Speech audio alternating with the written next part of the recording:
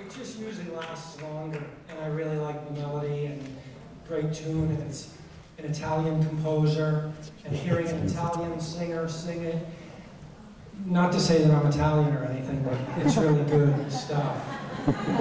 They make good food too, those Italians.